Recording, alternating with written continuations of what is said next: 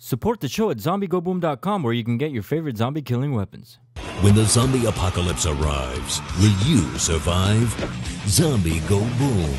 Kick undead ass.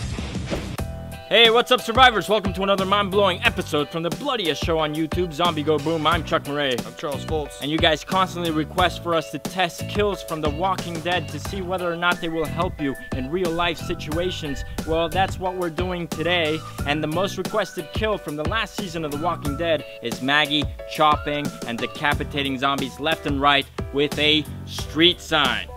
Now, stealing a street sign is highly illegal, so we decided to make our own.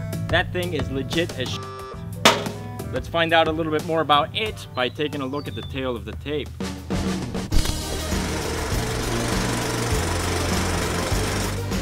The street sign. Used for ages to make sure people follow parking and traffic laws. But can it be used to kill walkers? Well, Maggie certainly thought so and proved that in the Walking Dead universe, this is definitely an effective weapon. But what about the universe in which we reside? Can an 18 by 24 inch standard street sign made of engineering grade reflective aluminum attached to a standard green galvanized steel post be enough to turn a walker into a sitter? Or will these 20 pounds of pure metal be a sign of disaster for the executioner? Let's find out.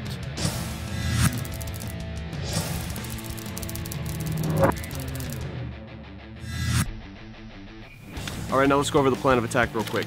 First, I'm gonna do a 90 degree angle strike from behind. and Then I'm gonna probably do another 90 from the side and then maybe a decap. I don't know, I'm just gonna whack around and see what happens.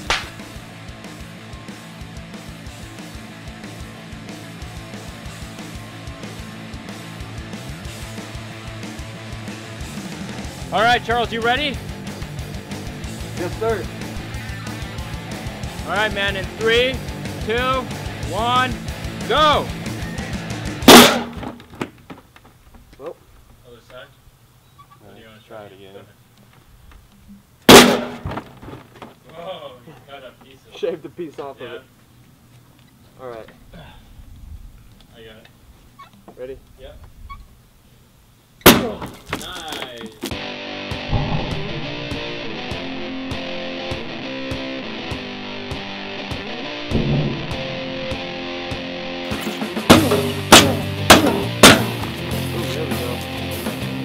All right, well, don't go anywhere because we're about to do a decapitation, but I did want to talk about this really quick.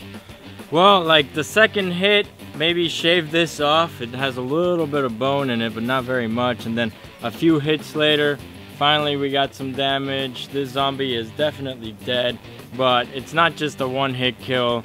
It takes a lot of effort to use it because it's so heavy and it was bouncing off most of the time, right? Yeah, it was deflecting off uh, the skull pretty badly. Uh, you just kind of have to find the right spot, like the sweet spot, basically, and and and you want to pull as you push when you hit, just like the sword. if you wanted to be proficient with this weapon, you would have to practice, and Maggie just grabbed it.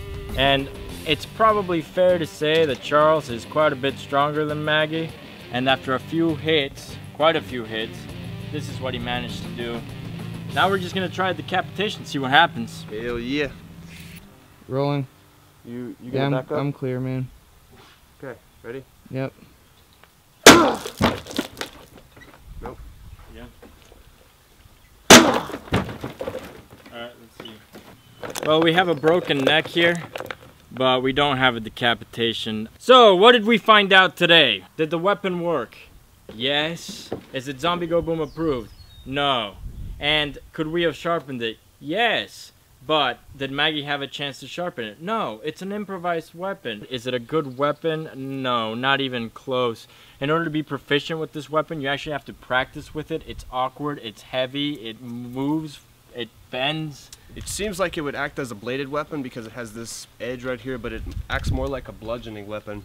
Really, I mean, it, it severed the head, but via blunt force trauma. Basically, basically. And, uh, you know, you'd be better off using it as a shield. It's gonna get you eaten.